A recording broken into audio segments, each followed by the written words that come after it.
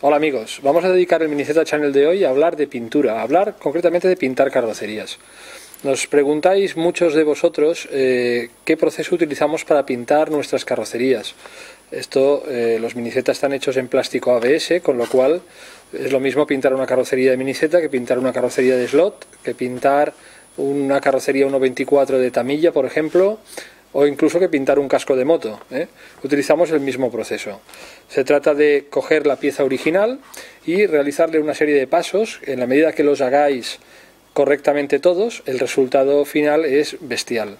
Pero tenéis que irlos controlando todos, no tenéis que tener prisa. El primer paso, como os decía, es coger eh, el modelo original. En este caso os voy a enseñar pues, eh, la carrocería del Toyota GT1 es esta que podéis ver aquí, eh, tal como viene sacadita de la bolsa.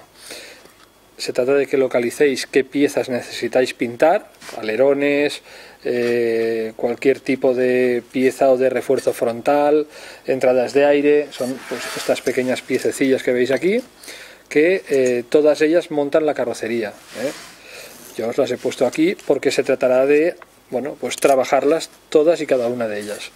El primer paso, y es el que nos referiremos hoy, es el paso de matizar, de lijar la carrocería.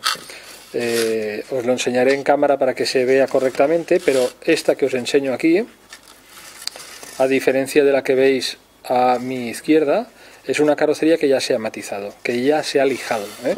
El proceso de matizar quiere decir quitarle un poco el brillo este que viene original, que hará que cuando empecemos a tirar pintura, la pintura coja mucho más la carrocería original ya es muy lisa, pues bien, la dejaremos lisa igual, pero sin brillo. ¿eh? Y la pintura tendrá mucho más agarre en esta superficie. Para lijarlo lo que utilizamos es pues, un papel de lija, ya os enseño el que utilizo yo. Esto es una lija de grano 1000, yo me movería entre 800 y 1000, tenéis que saber que cuanto menor es el número, más grano tiene la lija, o sea que más abrasiva es, menos nos interesa. Aquí interesa que al lijar casi casi ni, rayemos la superficie, con lo cual una lija de grano 800 o grano 1000, si puede ser para plástico mejor, e incluso al agua. ¿eh? O sea que podemos coger un cuenco de agua, ir mojando el papel de lija, que puede ser este papelito así que vamos cortando, no lijaremos con todo el papel. ¿eh? Vamos cortando pequeños trozos, los sumergimos dentro de agua y eh, le vamos dando la carrocería. Eh, aunque se ensucie no pasa nada, luego ya la limpiaremos. El agua, al, la lija, al tener contacto con el agua, lija más fina todavía, con lo cual menos arañazos y menos eh, rascadas dejaremos a la superficie que luego pintaremos. Podéis utilizar también otro tipo de eh, utensilios para lijar. Este se está poniendo muy de moda, lo utilizan mucho en Japón, no para lavarse los dientes, sino para lijar.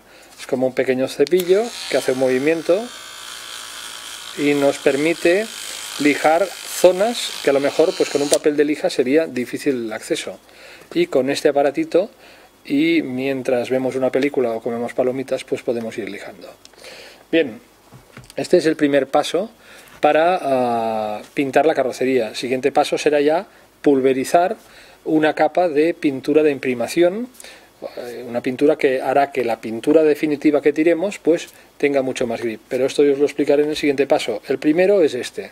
Los que queráis pintar carrocería, primer paso. Carrocería sacada de la bolsa, localizar los elementos que tendremos que pintar, lo que tendrá que recibir color, y uno por uno, pieza por pieza, lijarla suavemente hasta quitarle el brillo. Con eso acabamos el primer paso y eh, estaremos listos para seguir. Nos veremos en el siguiente vídeo que hablemos de pintura. Dadle al me gusta si os ha gustado este briconsejo. Eh, suscribiros al canal si no lo estáis para estar al día de estas informaciones y hacednos llegar preguntas y comentarios que necesitéis. Eh, nos vemos en el siguiente vídeo.